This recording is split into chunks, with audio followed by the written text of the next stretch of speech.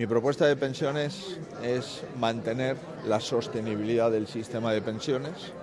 Mi propuesta de pensiones es no dejar un enorme agujero que ponga en riesgo las pensiones, no solo de los que las cobran ahora, sino los que tienen expectativas de cobrarla.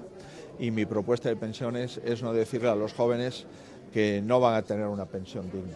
Y lo que ha hecho el Gobierno, en primer lugar, no lo acredita ningún instituto ni ninguna academia eh, económica en España. No, no, conozco a ningún experto en pensiones que esté de acuerdo con la propuesta que ha planteado el Gobierno y lo que ha hecho el Gobierno es hacer un agujero en las pensiones que no está dispuesto a revertir y además decir que en el año 25 pues habrá que hacer una reforma de pensiones. La disposición adicional del texto que conocemos lo dice muy claramente. Yo no voy a hacer una reforma de las pensiones, yo voy simplemente a aguantar hasta el final de la legislatura y quien esté en el año 25 pues que lo solucione, que solucione el agujero que he venido creando a lo largo de la legislatura.